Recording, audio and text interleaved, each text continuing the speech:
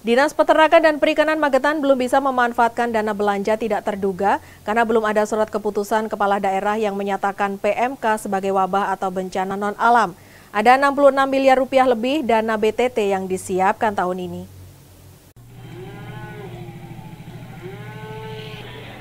Dinas Peternakan dan Perikanan di Senakan Magetan fokus penanganan penyakit mulut dan kuku atau PMK yang terus menyebar di 18 kecamatan di Magetan. Namun di tengah tingginya kebutuhan penanganan wabah PMK, Disnakan belum bisa menggunakan dana belanja tidak terduga atau BTT.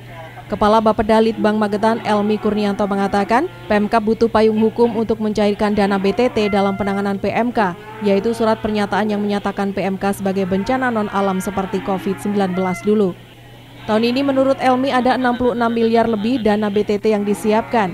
Kebanyakan disiapkan untuk penanganan COVID-19 pernyataan wabah itu tidak bisa dinyatakan sendiri oleh kepala daerah yang bersangkutan.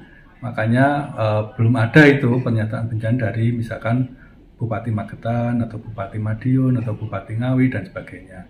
Karena itu kewenangan menurut kami kewenangan sektoral jadi Kementerian Pertanian yang hari ini pembina eh, bidang peternakan di eh, masyarakat kita. Artinya kalau ada pertanyaan wabah bisa digunakan dari BTT Pak?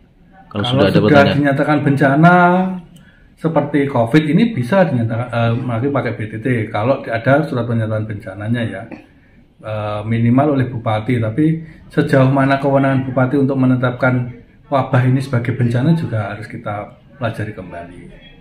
Kalau dana BTT yang tersedia berapa pak tahun ini? Tahun ini dana BTT total kita menyediakan lebih dari 66 m, yang penggunaannya uh, sebagian besar untuk alokasi COVID masian dan uh, tidak terduga lainnya. Selama ini penanganan PMK menggunakan anggaran rutin dari Disnakan sendiri.